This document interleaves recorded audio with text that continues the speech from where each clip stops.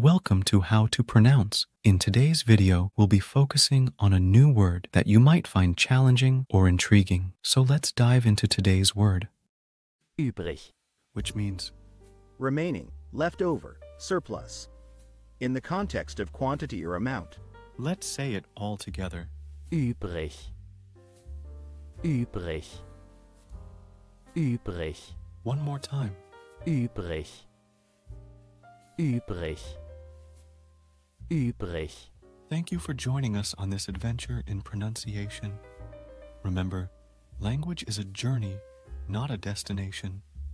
Keep exploring, experimenting, and expanding your linguistic horizons. We'll see you next time.